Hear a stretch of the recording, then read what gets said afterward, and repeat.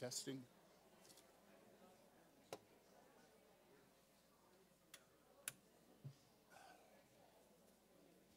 Ian?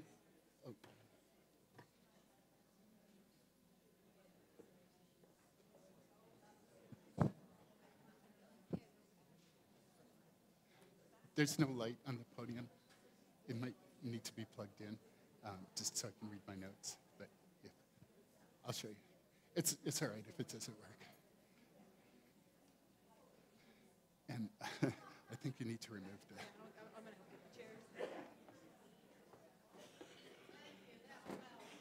the.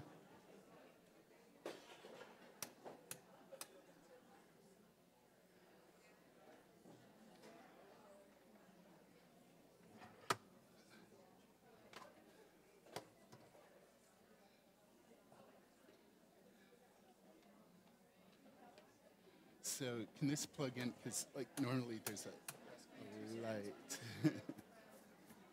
Thanks. Yay! okay, we're ready. okay. And Ian, anytime you want to dim the lights, go for it. Thanks.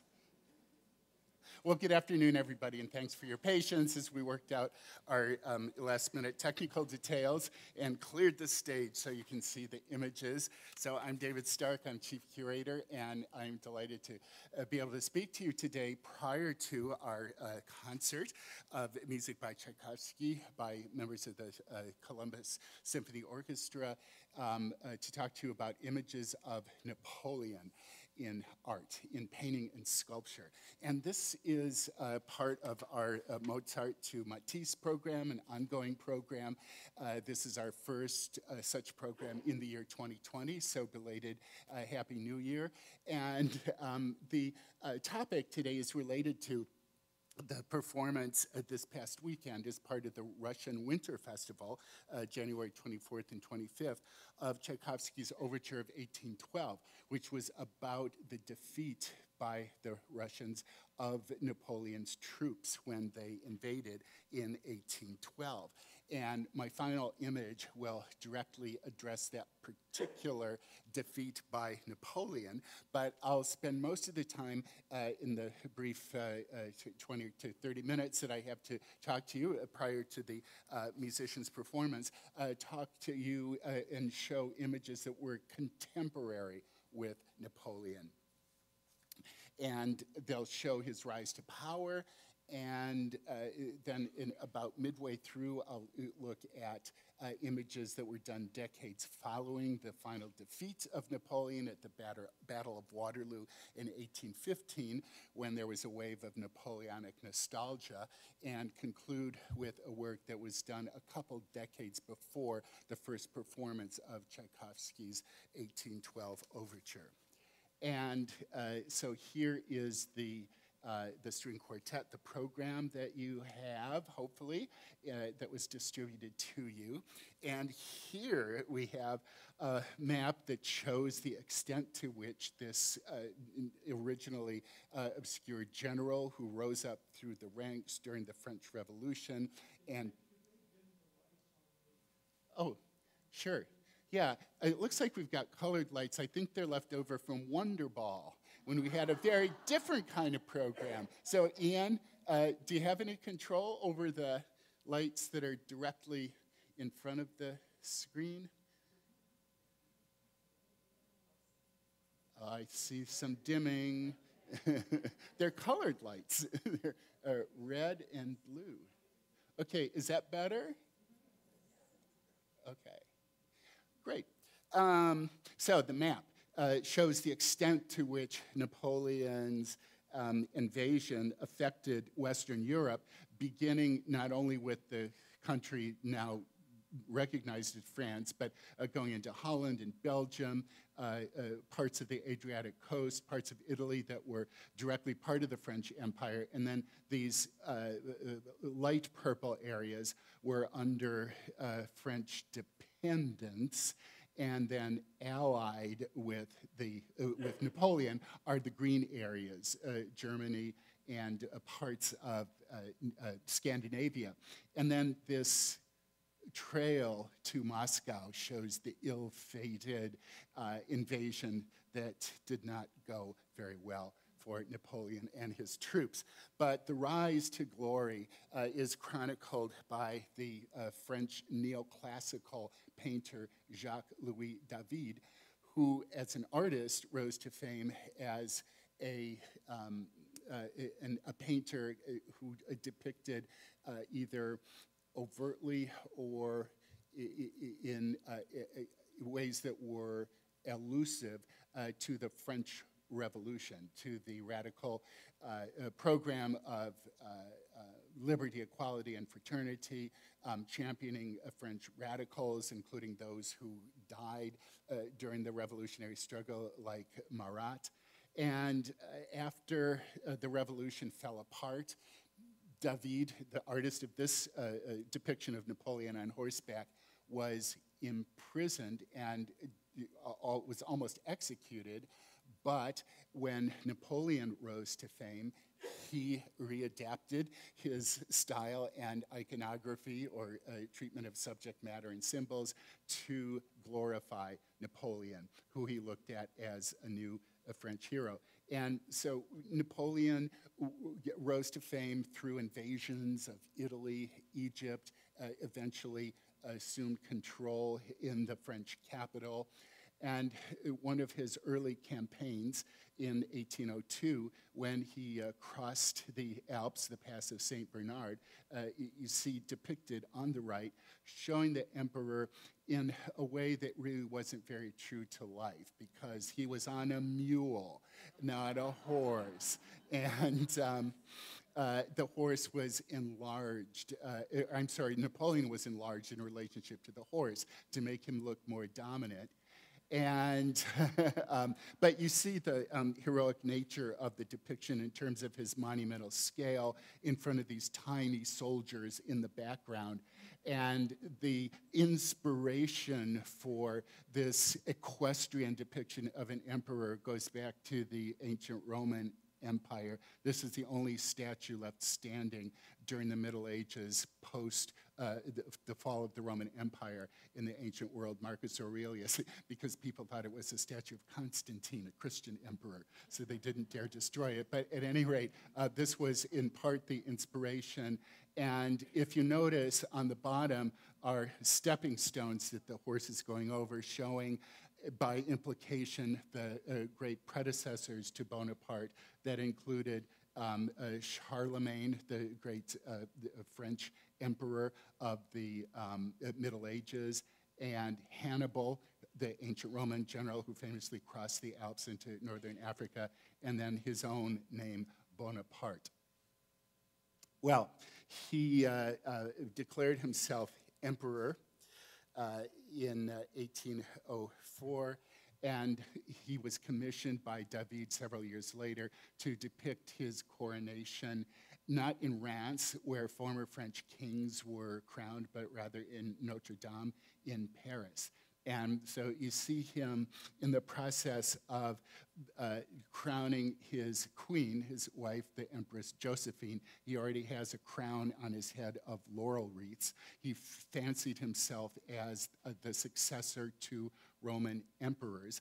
And whereas the Pope uh, would have, oh, and by the way, um, Notre Dame was um, remodeled, or there were, it's uh, almost like stage props. The, the uh, Gothic uh, architecture of the uh, structure was covered by these uh, temporary round Roman arches and pilasters and classical elements to obscure the fact that it was a, a, Gothic cathedral. So important was it at the time for the neoclassical Greek and Roman aesthetic to uh, predominate.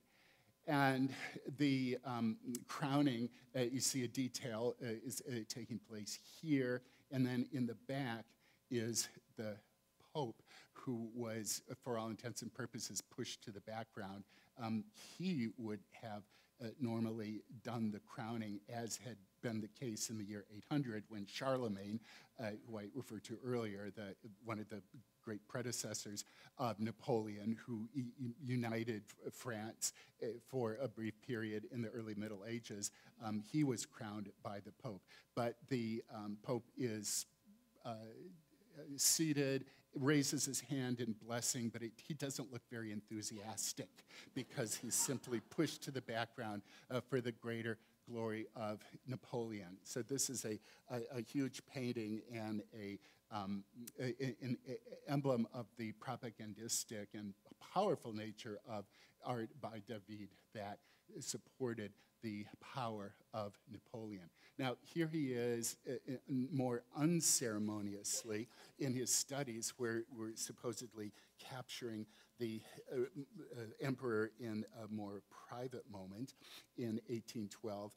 And he's showing him, uh, he is shown in uh, his uniform, but less ceremonial or, or less formal garb. And the idea is to show him as a man working hard for the French people, uh, working through the night. The candle has almost burned down. He's been up all night, slaving away. Um, eh, so it's 10 after 4 in the morning. You might have thought, well, did he get up really early at 4? No, because the candle showed he stayed up all night. And what was he working on but the Napoleonic Code, or the code of laws that he introduced that were that was actually a good thing in terms of reforming the kind of um, haphazard random patchworks of laws and policies that reflected the feudal age and uh, the uh, uh, medieval codification of these um, more uh, uh, this disunified, disorganized system of laws is the foundation still for the uh, legal code of France and other countries. So that was important work that he did that uh, is emphasized by David in this standing portrait that is not in France but is in Washington, D.C. at the National Gallery. So this is a great French treasure that we have in our own uh, country, in our capital, no less. Now, um, here, striking a different note, is uh, the work of a pupil by David, um, uh, Jean-Auguste Dominique Ingres, I-N-G-R-E-S, and he pulls out all the stops in showing Napoleon, um, well, as God. Um, I often, this is uh, the depiction of God as part of a large uh, altarpiece by Jan uh, van Eyck called the Ghent Altarpiece. And it, when I'm uh, teaching survey art history courses, I often ask students or tell students, if you have if you ever wondered what God looked like.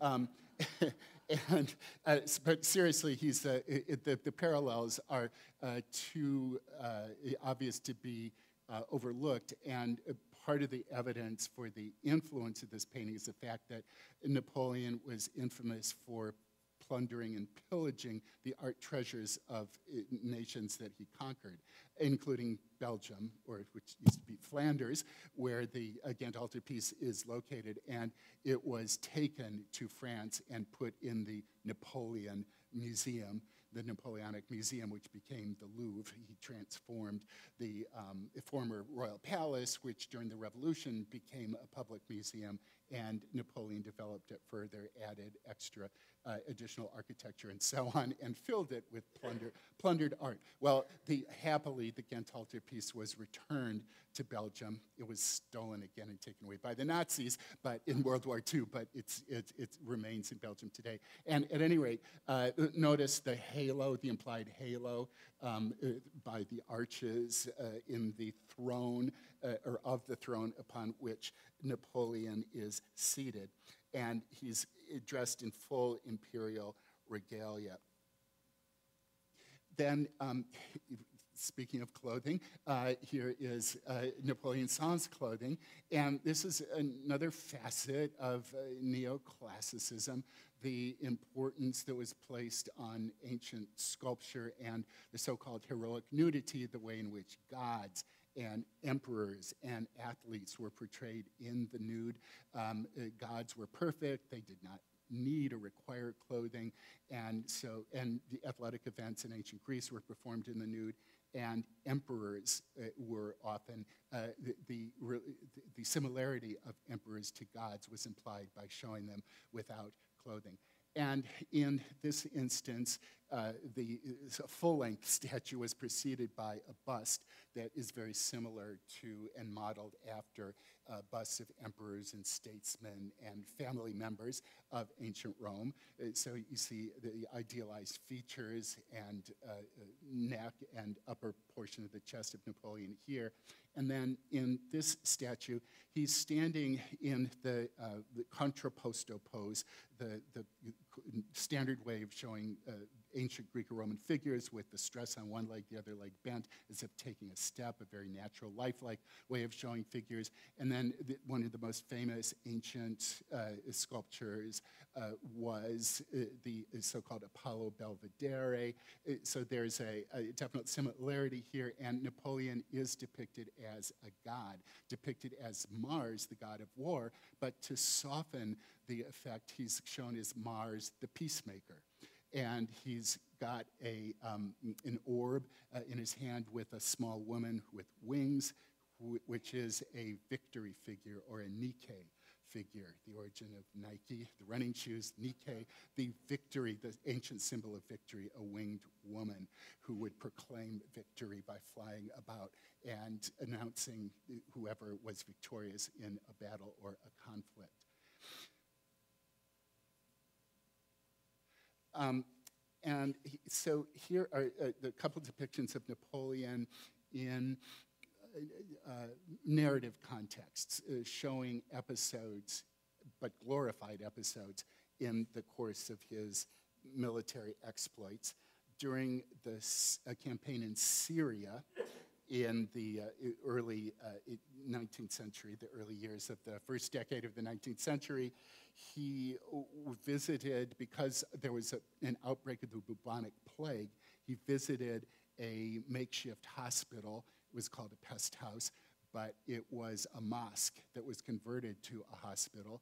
And you see uh, Muslim uh, doctors tending to patients, and Napoleon um, courageously takes off a glove and uh, places his hand on one of the sores of the, uh, one of the victims of the plague as if he had the power to heal. So we saw Napoleon as God a few minutes ago. Now we see Napoleon as Christ, the healer.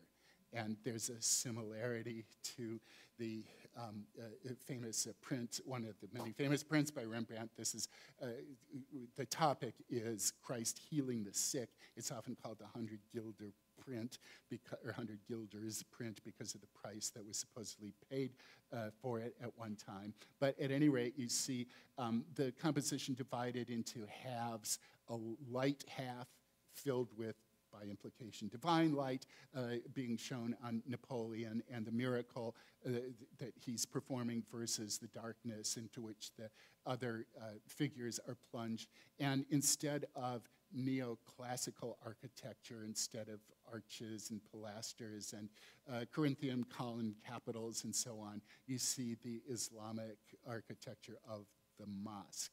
And this is an indicator that we're moving into a new movement, Romanticism, where an artist like Gros, even though there are still classical characteristics about his art, um, the, the Romantic generation rejected the classical by and large and sought for other environments and other time periods than the ancient Greek and Roman uh, times. So there were, were, a lot of images of North Africa or the Middle East.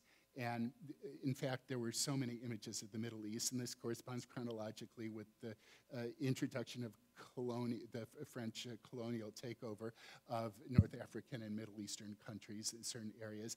Um, uh, the, the uh, trend is called Orientalism, in which there's this fascination with the, uh, the terrain, the architecture, the customs, the clothing of figures from this era. So this is an early example of that uh, trend in art. And there's also, uh, to drive the point home about the relationship to Christ in the way that he, uh, Napoleon is shown, you have this image by Raphael, one of uh, many, uh, one of about six or I think there were eight altogether, cartoons uh, or uh, full uh, scale paintings that Raphael made uh, that were used for the production of tapestries that were hung in the Vatican.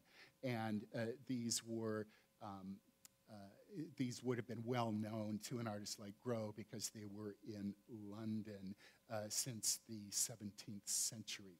And by the way, in um, the fall, we will have an exhibition of uh, six tapestries that were based on these cartoons uh, on the second floor of the Walter Wing uh, that are borrowed from Dresden, woven in England in the 17th century and entered the, um, what's now the Old Masters Picture Gallery of Dresden in the uh, 18th century. So that's something to look forward to in the fall. And we'll have a couple life-size or full-scale reproductions of the cartoons like this, uh, which never leave England, understandably, uh, but we will have the actual tapestries. Now, um, here's another battle scene, or another scene of Napoleon uh, in uh, context. It is the Battle of um, Eylau, which was an ill-fated, disastrous um, battle that preceded the Russian campaign in 1812. The French took a, a pounding, and Gros, uh, this uh, artist who did the previous painting, uh, was commissioned to show not the battle itself, uh, the French getting defeated, but rather the aftermath and showing Napoleon as gracious in defeat. He's in the center, of course, on horseback, and he's instructing the French soldiers to minister to the needs of the Russians who are wounded. So it's a, um, an image of the beneficence and the virtue of Napoleon. And you see some of the soldiers that are approaching him on horseback on their knees as if they are worshiping a saint or a holy figure. And this gesture of blessing, raising the hand, you see as another reference to uh, the, a, a Christ figure or a holy figure. Then I mentioned uh, in my introductory remarks that there comes a time, a couple decades after Napoleon's final defeat and exile and death, where there uh, comes a wave of nostalgia for uh, things Napoleonic and ages past that is part of the Romantic movement. And you see here a uh, much more um, prosaic, uh, everyday uh, image of Napoleon visiting the Louvre that I referred to earlier as the um, Napoleonic Museum that he had a role in uh, terms of uh, filling with the uh, art treasures from other countries. And so you see him uh, inspecting the work of Percier and Fontaine. That was the team of architects that also helped uh, reconfigure the uh, Notre Dame Cathedral to look as if it was neoclassical. So there he is uh, Napoleon inspecting a new wing of the Louvre. And then uh, a, on a more grandiose uh, scale, you see the artist Jean-Baptiste Mauzaisse, um, who shows in an allegory Napoleon who is being crowned by Father Time. Uh, in other words, he's shown as being immortal and there's a reference still, this is 1832, uh, to his Napoleonic Code. Uh, he, that's the one thing that uh, Napoleon can still be praised for, despite all the um, humiliation of the defeat uh, and the failures of his ambitions, but the Napoleonic Code endured. And here, uh, a couple of decades later, is Napoleon as a legislator from 1859 by uh, another uh, artist, uh, Guillaume, uh, Eugene Guillaume. Uh, is, was his name, uh, and this was for a private residence in Paris, but it shows in a classical guise Napoleon, now clothed and not nude, as a legislator, uh, with the um, praise being on the Napoleonic Code that it, he holds.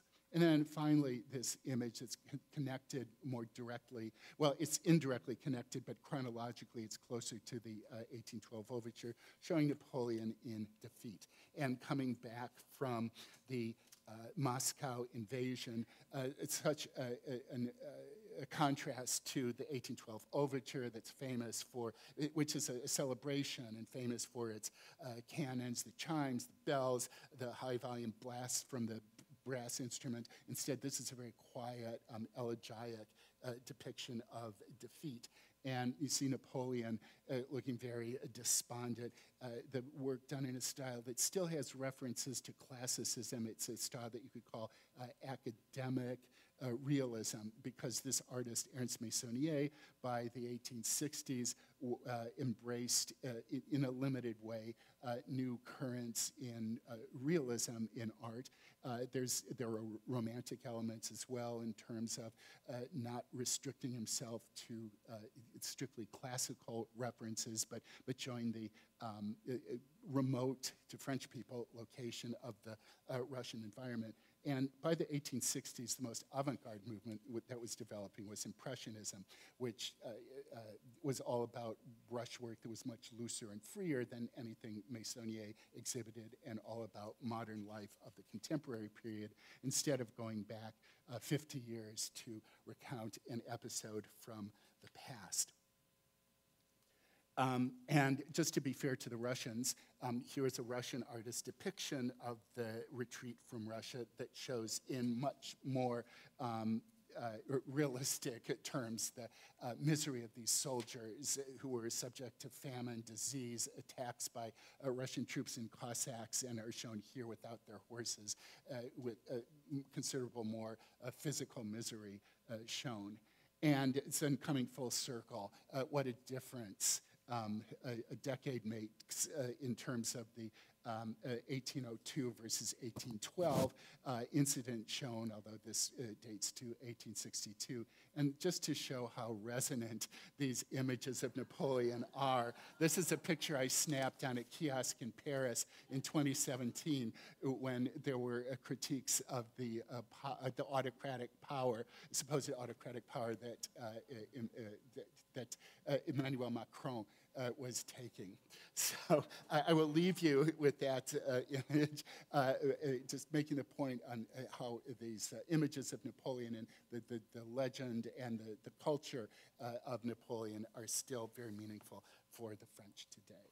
So I will now cede the stage to our great musicians for the concert portion of the program. Thanks.